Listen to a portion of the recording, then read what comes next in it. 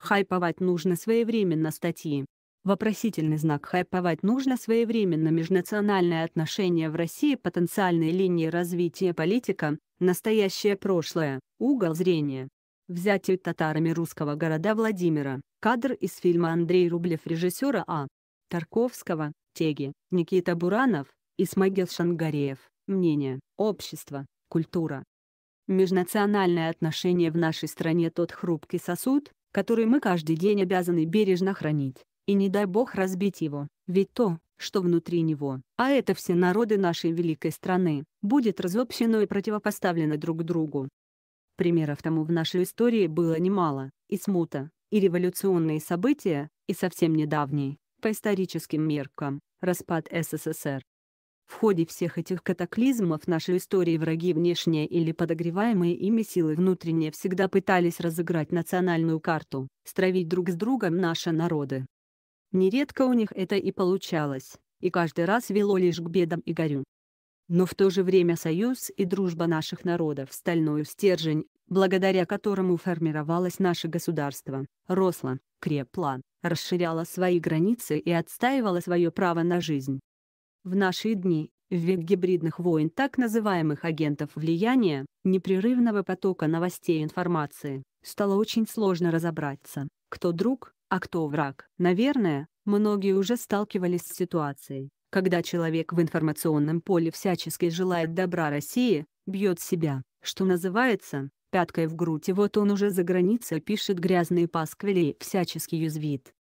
Конечно, нам не хотелось бы верить, что таких людей, сознательно пошедших на предательство Родины, прежде всего внутренне, в душе, много. Есть и те, кто просто не очень хорошо разбирается в истории родной страны, о них сегодня и пойдет наша речь. Совсем недавно публицист по имени Исмагил Шангареев выпустил статью под названием «Межнациональные отношения в России. Потенциальные линии разлома», которая очень симптоматична относительно темы межнациональных отношений. Более того, этот текст может служить отличной иллюстрацией к поговорке «благими намерениями вымощена дорога в ад». Впрочем, обо всем по порядку. Автор этой статьи, по всей видимости, узнал, что такое хайп. Вот только проблема в том, что хайповать нужно своевременно. Конечно же, имя федерального министра культуры всегда на слуху, и, примазавшись к нему, можно попиарить и себя, но не в тех вопросах, которые были закрыты в 2017 году. А уж о том, что Владимир Мединский, как доктор исторических наук и автор книг, безусловно, имеет право на свою точку зрения, вообще рассуждать бессмысленно. Так можно любого ученого атаковать за его позицию, чуть дальше мы этого еще коснемся. Причем в своих книгах Мединский отстаивает исключительно патриотическую, разрушающую негативные стереотипы о России и ее народах позицию но это был только заход. Воспользовавшись громким именем министра, дальше Исмагил Шангареев пускается в исторические рассуждения, в которых он явно не очень хорошо разбирается, и мы сможем ему рассказать почему. У Исмагила в тексте есть очень много отличных цитат, одну из них мы применили бы в самом начале нашего разбора, все смешалось в доме Облонских. Возможно, авторы так переполняли эмоции, что у него действительно все смешалось, Поэтому распутать его сумбурный клубок мыслей и изречений будет сложно, но мы попробуем. Будем продвигаться постепенно. Автор начинает с того, что он, как представитель татарского народа, очень оскорблен позицией министра, высказанной о татарах. Объясним, почему в кавычках, ниже, в книге о русском рабстве, грязи и тюрьме народов, и даже приводит цитату, к сказанному можно добавить еще одно. Никакой другой народ не воспринимался в народном сознании страшнее и хуже, чем татары. Тут мы первый раз можем поймать Исмагила Шангуриева на откровенной лжи и манипуляции фактами и словами. И вот почему. Во-первых, цитата вырвана из контекста, полностью она звучит так. К сказанному можно добавить еще одно. Никакой другой народ не воспринимался в народном сознании страшнее и хуже, чем татары. Причем речь идет явно не о казанских татарах, даже не о крымских татарах, прославленных страшными набегами и уводом в рабство людей. По тексту фольклорных песен очень хорошо видно, что речь идет именно о татарах, сборщиках дани, баскаках, чиновниках Золотой Орды. Согласитесь, совсем иной смысл. Для закрепления материала мы сообщим Исмагилу, что в начале 13 в. Татары, Монг. Татар, монгольское племя, обитавшее на северо-востоке Монголии. Их кочевья занимали районы озера Буйрнур реки Халхингол южнее реки Керулен, а также часть внутренней Монголии. От будущей Казани и Крыма, признаться, далековато. Да и татары это этноним, уже давно и хорошо изученный. Для дополнительных знаний мы рекомендовали бы автору освежить в памяти события по началу создания Тимучином, Чингисханом, Монгольской империи. Тогда разница между татарами современными и татаро-монголами средних веков ему станет очевидна. Затем следует еще один, не менее интересный перл.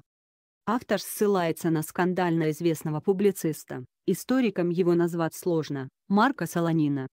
И опять, уважаемый Исмагил, мимо, концепции солонина в научных кругах получили название солонина. Уже несколько лет они не просто поставлены под сомнение, а опровергнуты целой плеядой современных и действительно уважаемых и признанных историков, таких как А. Исаев, А. Киличенков, Г. Куманев, В. Бишанов и многих других. Эти имена весят значительно больше, чем цитата «Коммерциализация истории Марка Солонина».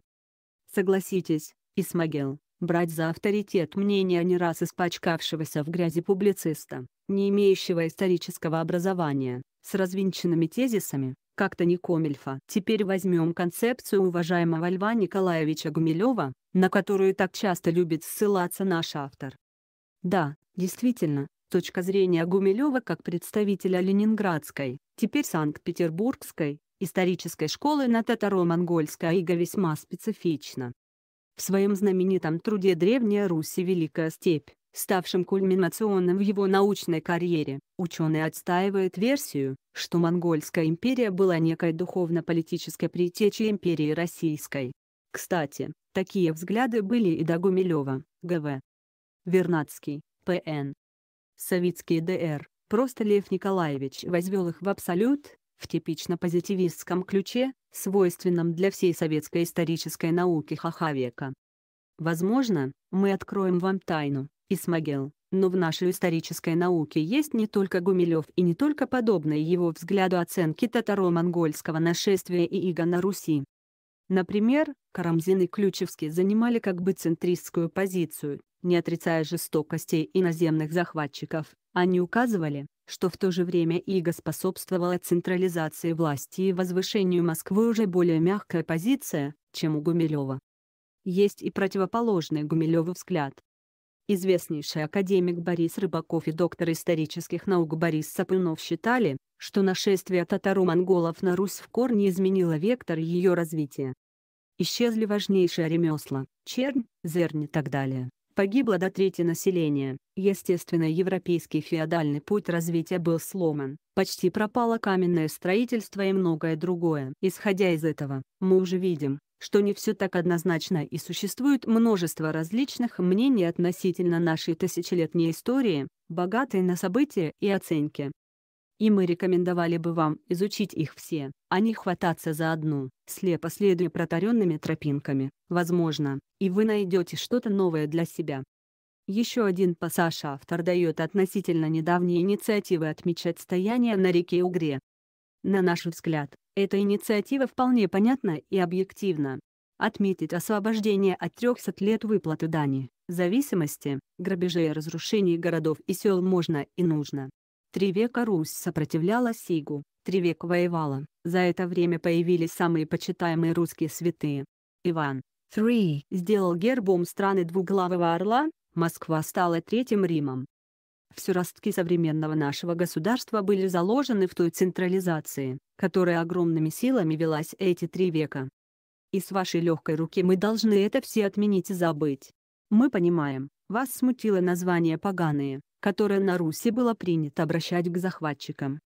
Не только к татаро-монголам, чье происхождение мы вам уже и объяснили, но и к немцам, шведам, полякам, литовцам.